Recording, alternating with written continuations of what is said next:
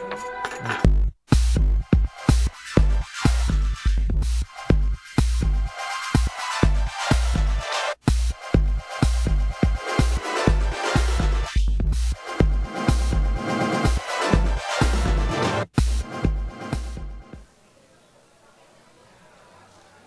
Boa tarde, sejam bem-vindos ao programa Radar desta sexta-feira, dia 14 de novembro. Eu sou o Piá e fico com vocês e o Radar até às 7 horas da noite. Hoje estamos ao vivo, direto da Feira do Livro, do estande da TVE, que fica aqui na Rua dos Andradas, quase esquina com a Caldas Júnior. Hoje a gente promove um bate-papo sobre editoras independentes. A gente está com o pessoal do Clube dos Editores, também Coisa Edições e Não Editora. A gente também te mostra uma reportagem sobre os 60 anos da Feira do Livro que encerra nesse próximo domingo aqui em Porto Alegre. A gente começa o radar de hoje direto aqui chamando a nossa colega Fernanda Fel, que está em outro ponto da Feira do Livro para falar sobre quadrinhos, fanzines e também cultura pop. Ela tem dois convidados para falar sobre esse assunto. E aí, Fernanda, tudo bem?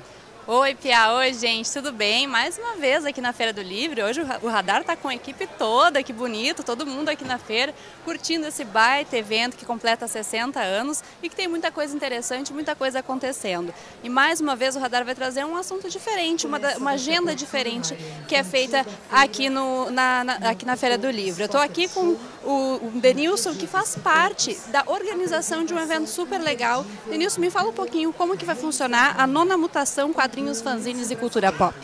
Bom, o nono mutação, né, o próprio nome já diz, são nove anos produzindo esse evento que congrega o pessoal que curte quadrinhos, o pessoal que produz fanzines, que são revistas de fãs, e a gente está dando também um destaque para a galera da cultura pop, né? Então tem uma série de fã-clubes, fã-clubes sobre Star Wars, fã-clubes sobre Doctor Who, é, The Walking Dead, que está bastante na moda agora, né? Então é um evento assim que congrega todo esse grupo, de, tanto de profissionais quanto de fãs ligado à área dos quadrinhos e da cultura pop. Uma programação que começa amanhã, né? Me fala um pouquinho o que, que vai ter, quais as atividades. Bom, uh, esse ano Mutação volta a ter dois anos, né, que era a ideia do projeto inicial, e a gente está com uma programação que começa amanhã às 13 horas e vai até domingo às 20 horas encerrando. Né? São dois dias com uma série de atrações. A gente está trazendo, por exemplo, um dos desenhistas da Turma da Mônica, o Vitor Cafage, premiadíssimo com a Turma da Mônica Laços, uma graphic novel. Nós temos também o Daniel HDR, que é de Porto Alegre e que produz super-heróis para Marvel e para DC. E tem toda uma galera assim ligado ao quadrinho independente também, que é da onde a gente vem e a gente dá uma força para esse pessoal também, né? Como é que está o mercado, Denilson, dos fanzines, dos quadrinhos, né? Tem melhorado, a gente tem grandes nomes aqui no, no cenário gaúcho, né? Como que está esse mercado? Bem, hoje a gente tem uma galera produzindo quadrinhos, né? A gente tem um pessoal que está trabalhando para o exterior, né, o Daniel, que eu acabei de citar, aqui de Porto Alegre, Rafael Buquerque, Rafael Grampar, bom, tem, tem uma galera, né, o Matheus Santo Louco, né, o Azeitona, enfim, tem um, muita gente. Mas a gente também tem um outro lado do quadrinho, que é o quadrinho voltado para a literatura. Inclusive, uma das, das palestras esse ano é o pessoal que produz adaptações de obras literárias para quadrinho, visando né, a formação de leitores. E o pessoal que produz independente também está produzindo bastante. A gente vai ter, inclusive, o lançamento de uma revista independente do grupo Quadrante Sul, né, que é a revista Peri, que eu tenho aqui comigo.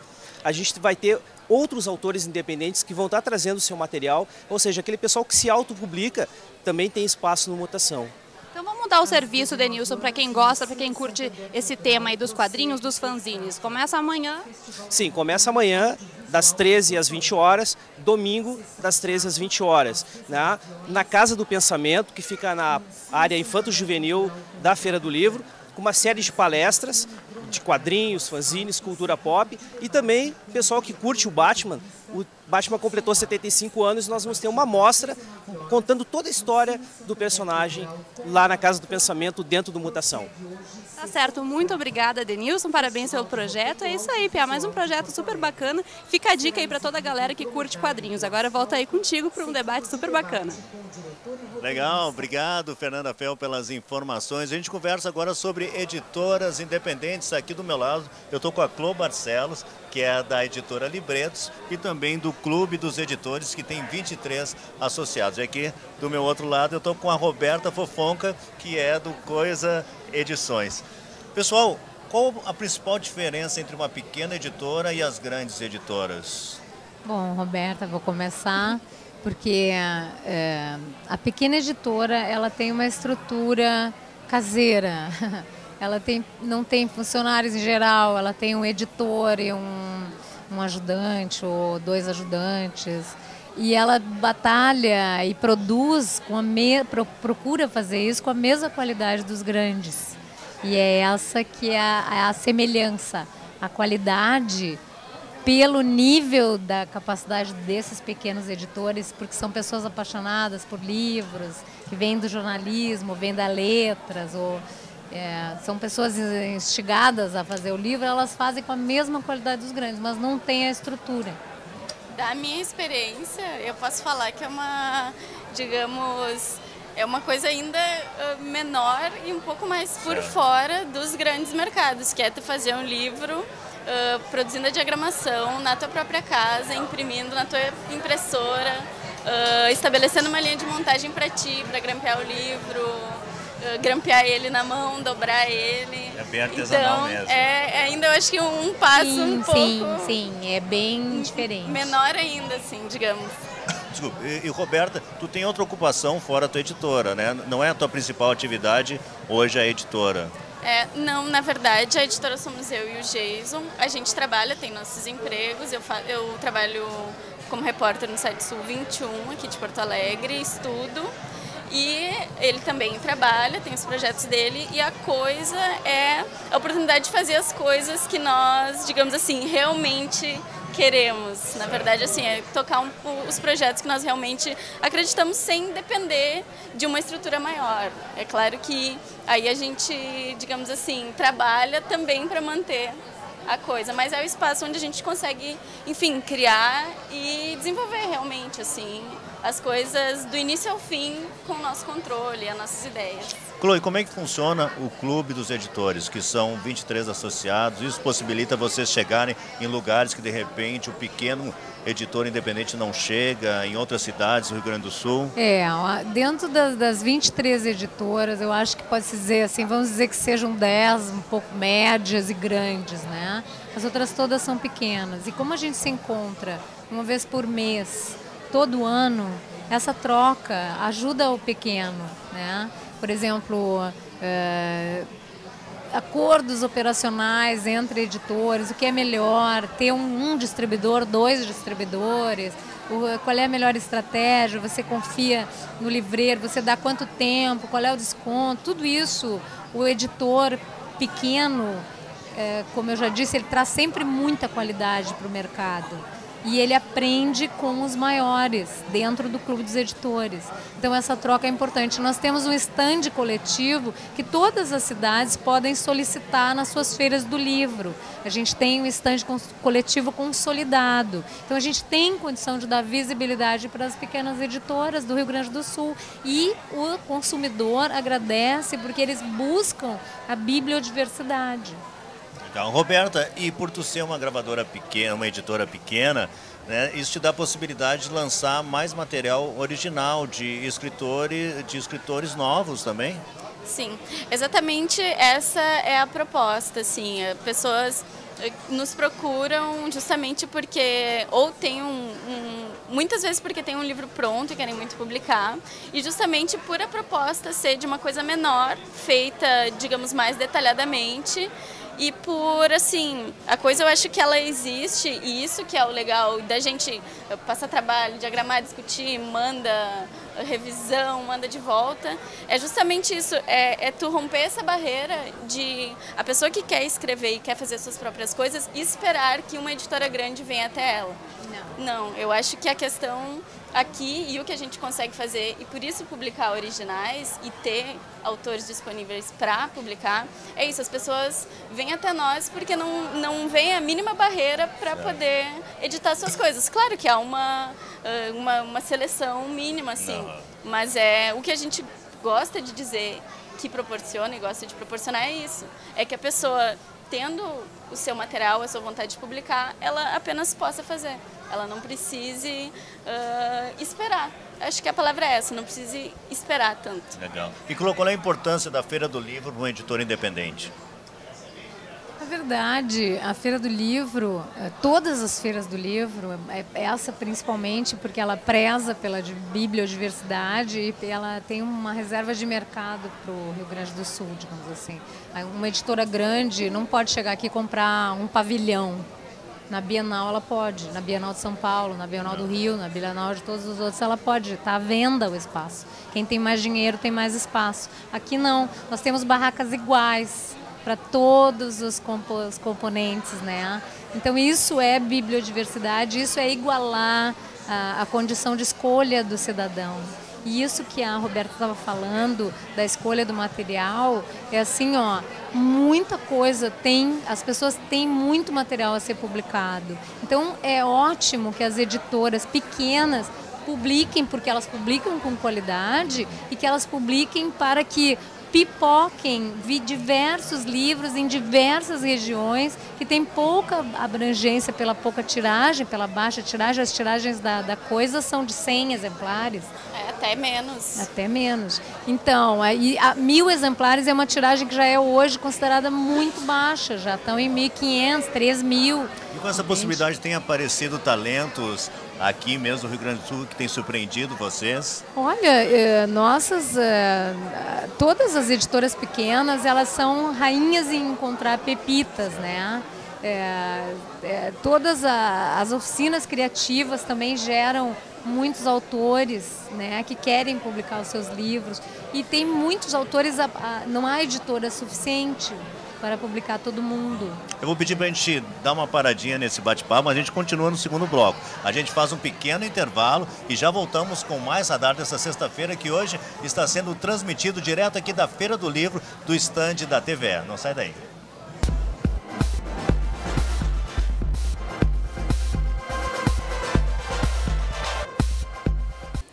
Estamos de volta com o programa Radar hoje ao vivo aqui da Feira do Livro. Toda a equipe está aqui, um programa super bacana falando sobre novas editoras, essa, essa arte de fazer livros, né? E olha, a Feira do Livro vai até o domingo e tem muita coisa bacana rolando. Já encontrei banda de rock, já encontrei só voz e violão, encontrei o pessoal do Petit ali na praça de, de alimentação. Feira do Livro é isso, é cultura para todos os lados. Em homenagem a essa feira querida que esse ano completa 60 anos, a gente fez uma matéria uma matéria muito especial que fala também de poemas de Mário Quintana, que esse ano completa 20 anos da morte desse grande poeta. Vocês conferem agora a nossa homenagem na reportagem. Os poemas são pássaros que chegam, não se sabe de onde, e pousam no livro que lês. Quando fechas o livro, eles alçam voo, como de um alçapão. Eles não têm pouso, nem porto. Alimentam-se um instante em cada par de mãos e partem e olhas então essas tuas mãos vazias, no maravilhado espanto de saberes, que o alimento deles já estava em ti. 16 de novembro de 1955. Porto Alegre clamava no centro histórico: Se o povo não vem à livraria, vamos levar a livraria ao povo. Nascia a maior feira do livro a céu aberto das Américas os jacarandás já floresciam e coloriam 14 barracas de madeira. A leitura acabava de se popularizar e tomar conta da movimentada Praça da Alfândega. Querias que eu falasse de poesia, um pouco mais. E desprezasse o cotidiano atroz. Querias, era ouvir o som da minha voz e não um eco apenas deste mundo louco. Mas que te dar, pobre criança, em troco? De tudo que esperavas aí de nós. É que eu sou oco, oco, oco, como o homem de lata do mágico de Oz. Sai Marques talvez não soubesse, mas surgia mais que uma feira do livro. Nascia um espaço cultural internacional para todas as idades, com os mais variados assuntos, com espaço para autógrafos, oficinas e uma praça tomada por centenas de livreiros, artistas, curiosos, escritores e principalmente devoradores de literatura. Olhe o mapa da cidade como quem examinasse a anatomia de um corpo, e nem que fosse o meu corpo. Sinto uma dor infinita das ruas de Porto Alegre, onde jamais passarei. Há tanta esquina esquisita, tantas nuances de paredes, há tanta moça bonita nas ruas que não andei. E há uma rua encantada que nem em sonho sonhei começava a ser escrita uma história de muitas histórias. E depois de 60 anos ininterruptos, ela continuaria ali, cumprindo o mesmo papel: levar a leitura até o povo. Por isso é que os poemas têm ritmo, para que possas profundamente respirar. Da vez primeira em que me assassinaram, perdi um jeito de sorrir que eu tinha. Depois, de cada vez em que me mataram, foram levando qualquer coisa minha. E hoje, dos meus cadáveres, eu sou o mais desnudo, que não tem mais nada. Arde um toco de vela amarelada como o único bem que me restou. Vinde, corvos, chacais ladrões da estrada. Ah, desta mão avaramente adunca, ninguém há de arrancar-me a luz sagrada. Aves da noite, asas do horror, voejai, que a luz trêmula e triste como um ai, a luz do morto não se apaga nunca.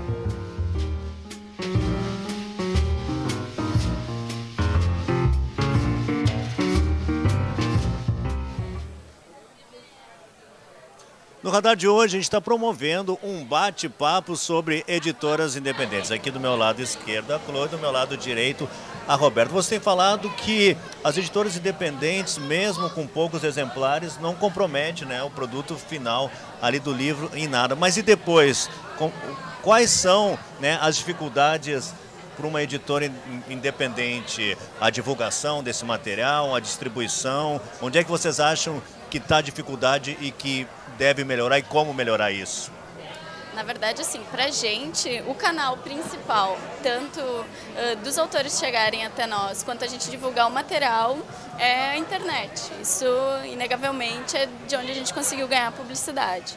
Mas a distribuição, digamos assim, a gente vende, o contato é diretamente com a gente, ou, por exemplo, a gente participa de eventos de fanzines, uh, essa coisa, a distribuição funciona muito, por exemplo, em montar bancas em eventos que a gente sabe que o nosso público, digamos assim, vai estar presente.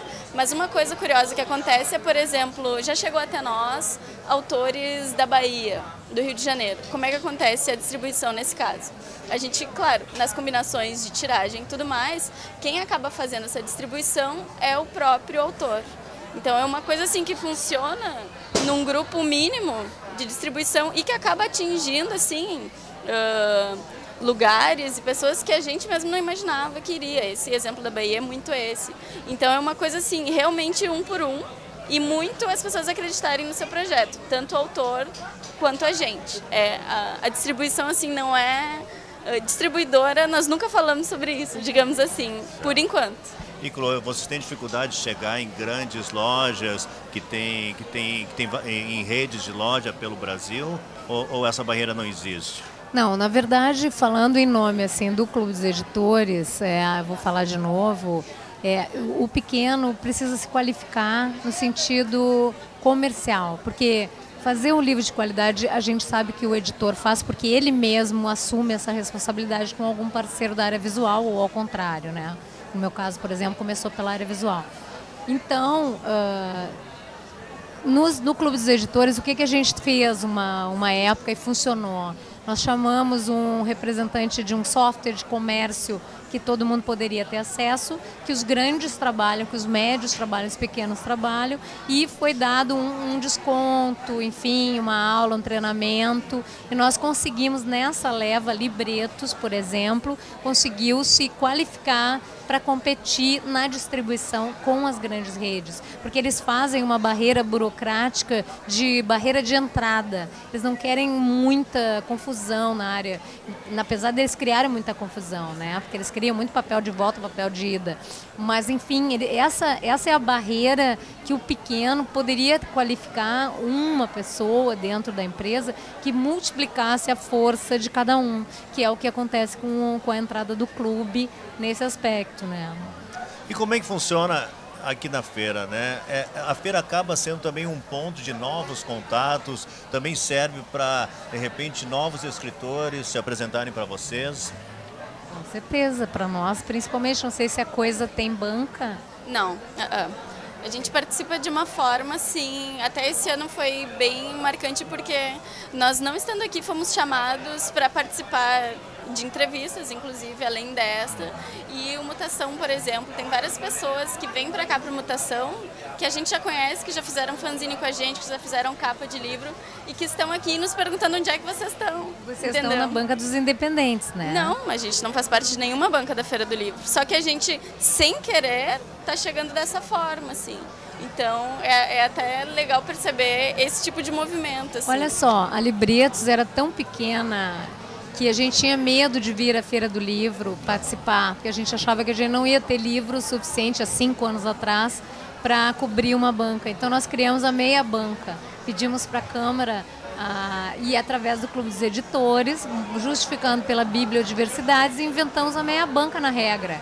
Não existe, existiu a partir do que a gente queria. Então a gente dividiu com outra editora, né?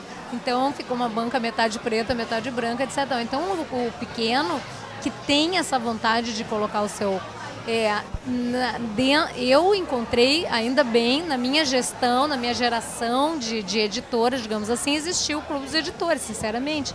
Eu não faria o que eu faço hoje sem aprender mensalmente e nos encontros que, ele, que a gente faz, que é os seis seminários do livro, o negócio do livro que fizemos há um ano cada, né, por ano, seis edições, foi seis anos, e a gente traz gente de todo o país para nos ensinar. A gente traz, por exemplo, a Libre, que é uma liga de editoras independentes no Rio de Janeiro, que faz um sucesso bárbaro, que agora já está indo, está subindo para o Nordeste, tal, que é o que a gente quer fazer. Então a gente tem parâmetros para seguir. E junto, juntar, por exemplo, bibliotecários e livreiros e editores numa coisa só. Por exemplo, a gente convida livreiros para conversar, convida políticos para trocar ideias sobre as leis que nós precisamos, convida os, os, os bibliotecários para se aproximar, porque a luta do bibliotecário é a nossa. Né? Então, assim, é muito interessante. E o clube também democratizou as oportunidades de negócios, tanto para grandes quanto para pequenos. Então, ali aparece: olha, as bibliotecas públicas estão comprando. E agora, as bibliotecas públicas, algumas bibliotecas públicas que não tinham comprado há dois anos, estão comprando as estaduais. Então, está na hora de visitar as bibliotecas. E aí, o pequeno pode botar uma sacolinha debaixo do braço e, e ir nessas bibliotecas que estão no estado pelo menos nas da Grande Porto Alegre, por exemplo, e, e fazer o seu, a sua venda, porque há uma independência das bibliotecas.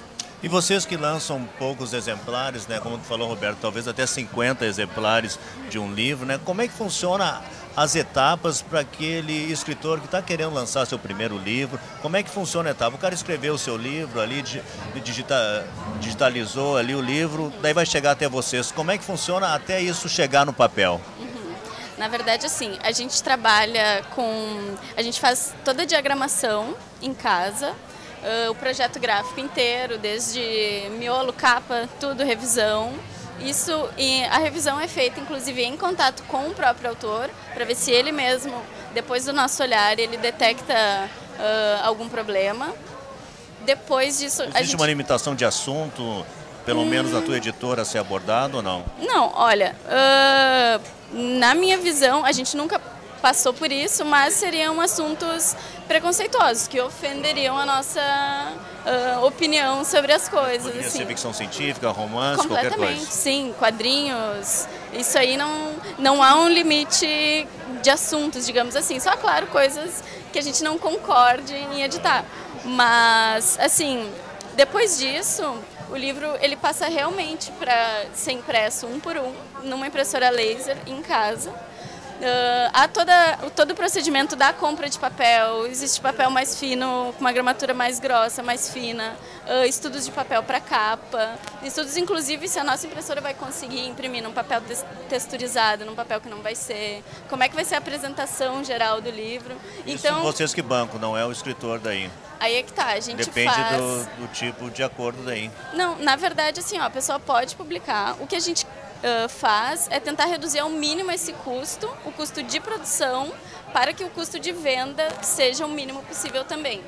Entendeu? Não é uma ideia assim, uh, o lucro não fez parte dessa ideia até agora. Então a gente tem, conforme o exemplar, o, conforme o número de páginas, o preço do material, a gente tem o preço de mão de obra, de tudo que vai levar isso.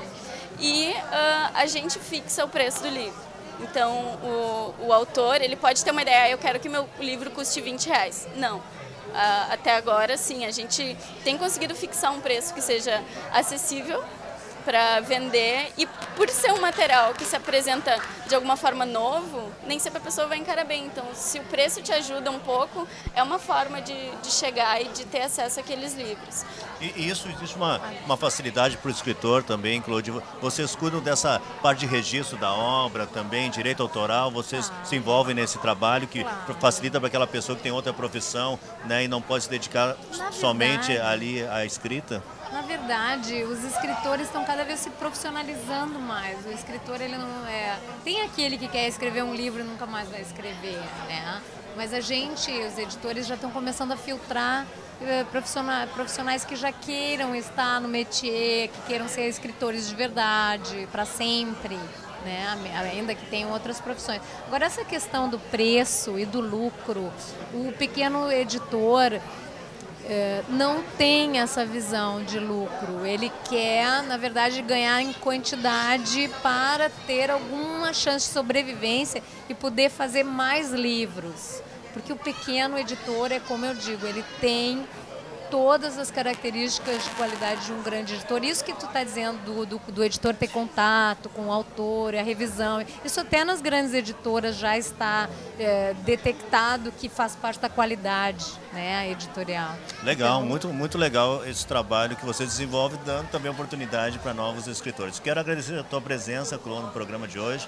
Tu também, Roberto, hoje esteve falando sobre editoras independentes. Radar de hoje, então, vai ficando por aqui. Segunda-feira a gente volta ao vivo do estúdio da TVE e quem faz um som por lá é a banda de Ângeles. Quero aproveitar e quero convidar vocês para também curtir o programa que eu apresento na FM Cultura, o Sexta Básica, todas as sextas, das 10 da meia-noite, duas horas, com muita música brasileira. Eu faço uma pesquisa musical muito grande para mostrar raridades aí da música brasileira, toques culturais e sempre um artista se apresentando ao vivo. Hoje quem faz o som lá no Festa Básica é a banda Benjamin e também a banda, o grupo Puro, o grupo Puro Astral. Era isso então, o programa de hoje vai ficando por aqui. Valeu, bom final de semana, até mais.